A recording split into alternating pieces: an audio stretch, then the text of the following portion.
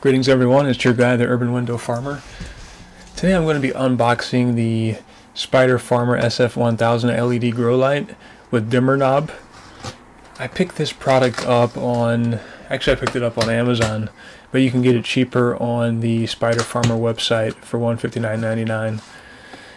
Um, so yeah, I'm going to be unboxing this uh, grow light and once I get it unboxed, the next thing I'm going to do is actually set it up and actually start the grow process. So here we are. This is how the package came in in the mail. Um, it's packaged pretty nicely. You see here, discarding the first box. And then you see the instruction manuals there on the top. Spider Farmer, pretty detailed instructions.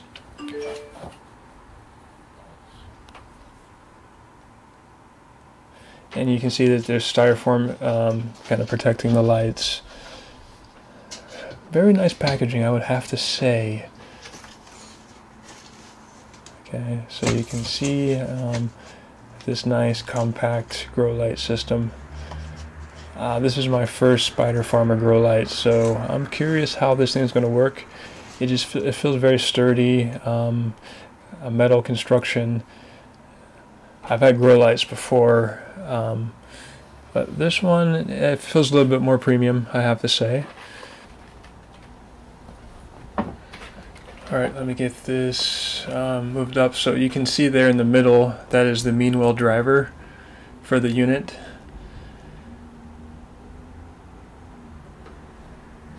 And it comes with, of course, a power cord and the metal hanger kits as well, which are in this bag here. And there's also an RJ45 cable in the bag there, and that's if you had multiple lights and you wanted them to work in tandem with each other, like if you wanted to dim the lights and have them all dim together, uh, you would pair those multiple lights together using the RJ45 cable. Alright, so I'm going to start connecting the metal hangers. So there's four slots that I have to connect the metal hangers to. Uh, they're in each corner of the of the unit. So I'm going to quickly do that. And I'm setting up this um, Spider Farmer LED light uh, here on a bookshelf and I'm just going to use this bookshelf to start my seedlings and then once the seedlings are at an appropriate size, um, mature enough, I'll, I'll, add them to my Martian Tower garden. So I think this is a way that I'll have uh, much healthier plants instead of starting the uh, plants from seed in the Martian Tower garden. Alright, so I'm all done. I have the SF 1000 grow light all hung up. Um, you can kind of see how I did it.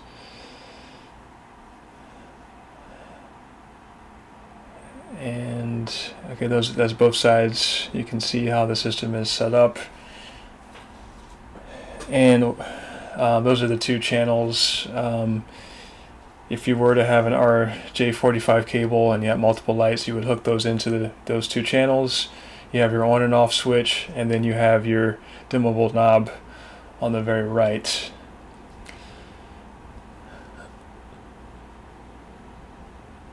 So um, I kind of messed around with the height a little bit. Um, I think I'm going to go with this this height, and then I'm going to um, put my plants under here and, and see what happens. I'm going to go ahead and turn this on, let you guys see it. Uh, you can see those Samsung diodes, and you can it's uh, dimmable, so you can crank it all the way up to 100, uh, depending on the stage of your plants. Um, usually in the um, Germination phase, you're at 20 to 40%. Seedling phase at 40 to 60. Vegetative phase, you're at 60 to 90. And then flowering phase, you're at 90 to 100%. One more thing I have to mention, um, the lights are, are silent. I don't really hear anything when I turn them on. Um, so I've had grow lights before that are they have a kind of a, a fan and a, a, humming noise, but this, these are pretty silent. All right, so I'm going to go ahead and get started uh, with my seedlings. So I 3D printed uh, this Rapid Rooter seedling holder. I used um, you know the fastest print setting so you can see the print is not you know the most beautiful 3D print that I've ever done. Um, I just wanted to get something out there as fast as possible so I printed this and you see the the um, rapid rooter seedling um, plugs they fit pretty they, they, fit nicely into this system uh, I don't have to worry about them tipping over. So I can fit 15 um, seedlings in here.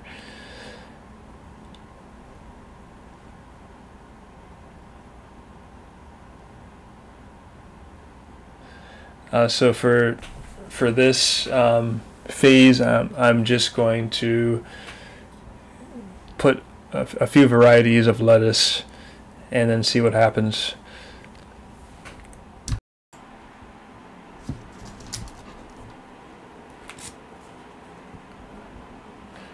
Alright, so I'm going to start putting seeds in. Um, I'm going to start from the right to the left. I have my stick. I like to dip it in water just so that the seed will stick to the stick.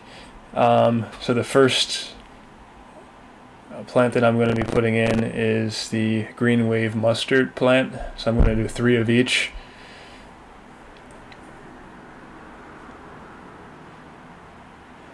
And I'm putting I'm putting about like two seeds in each of the rapid rooter plant starters. And if more than one germinate, I'll try my best to um, first I'll pick the one that looks like it's doing the best. I'll, I'll, let that stay in in place, and then I'll I'll pull the other one out and try my best to replant it in another rapid rooter plant starter.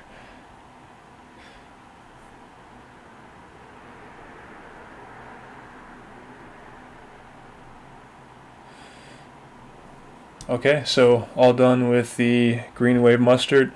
I'll move on to the mustard green red giant.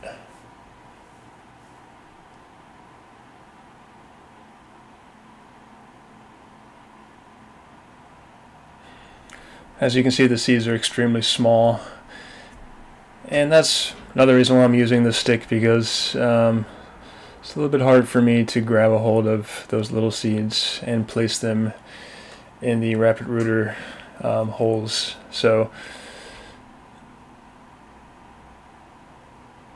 continue on, putting approximately about two seeds in each. I look like I have three right there, but um, approximately two seeds in each of the plugs.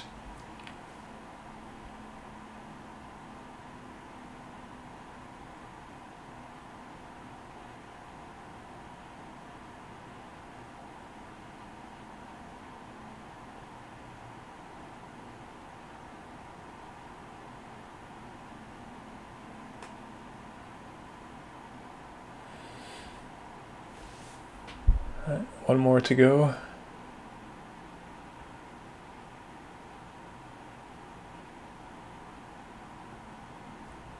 And next is the red velvet lettuce plant.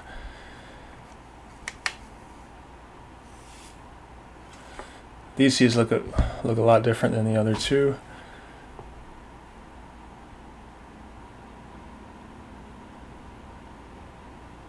But they're also extremely small, so Again, I'll be using the stick to place them into the rapid rooter plugs.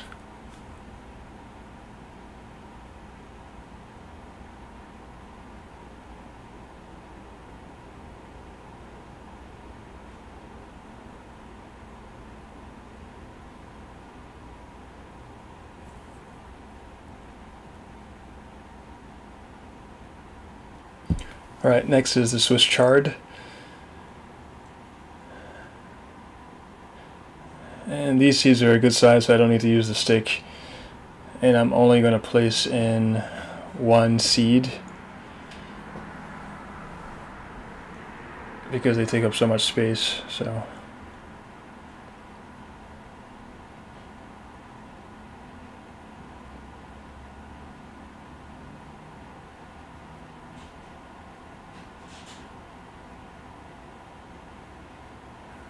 Alright, that's quick.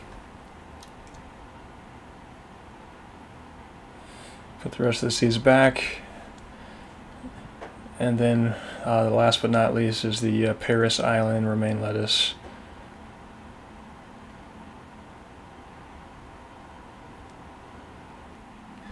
So these seeds look pretty similar to the red velvet lettuce seeds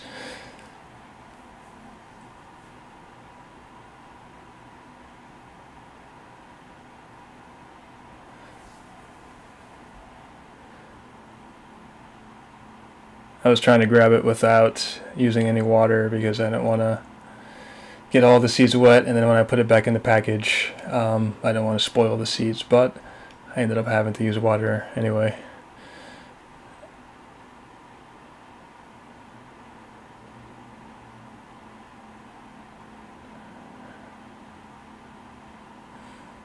So again about two seeds per pod and if we have additional germination I'll just um, move the the additional plant to another pod. And I think we're all good to go there.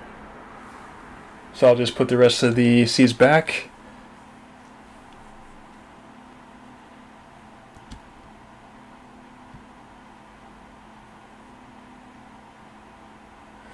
Alright, so next step is to move the tray over uh, back to my bookshelf under the grow lights.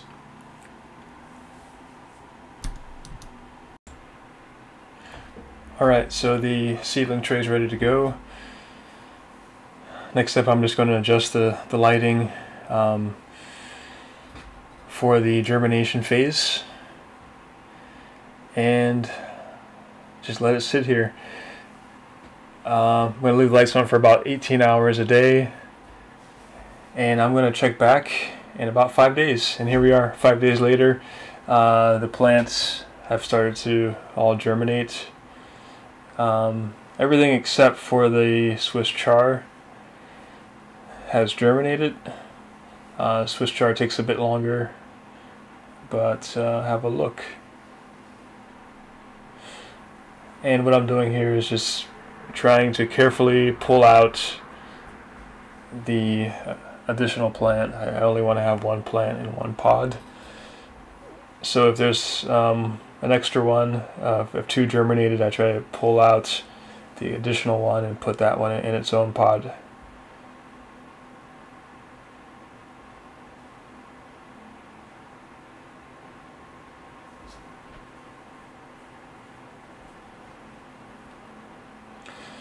So sometimes I have to break open the rapid rooter pod because they're not really made for putting uh, already germinated plants in, into them. They're mostly made for putting seeds. So that's the process that I typically take.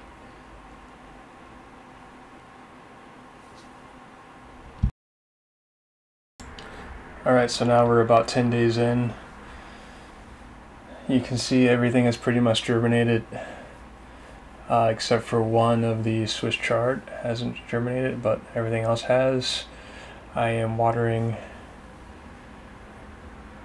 the plant. Uh, I also added a little bit of nutrients um, just to aid in the development of the plants.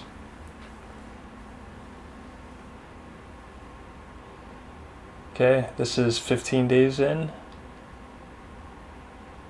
Have a look.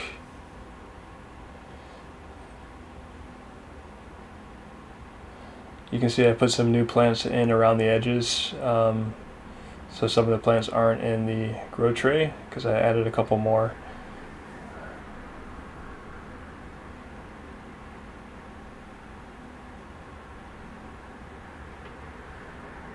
And this is two days later. So most of these plants are now large enough to go into the Martian Tower Garden. So I'm going to take the majority of these this weekend and I'm going to put them in the Martian Tower Garden and then I'm going to uh, there's a few plants around the edges that are kind of being uh, shadowed out because of the other plants are so big. So I'm gonna so they'll have space to um, to grow as well. So that'll be my project this this weekend, um, placing these into the Martian Tower Garden. So have a look. Um, I would say this was a pretty good experiment using the Spider Farmer LED lights to start my lettuce plants. And if you enjoyed this kind of content, please hit the like button and also consider subscribing to the channel. I'm going to be doing more videos like this, um, using the Spider Farmer LED lights to grow other plants as well. And also, you'll probably want to see me adding these plants to the Martian Tower Garden this weekend. So there'll be another video about that. Thanks again for watching, and happy gardening.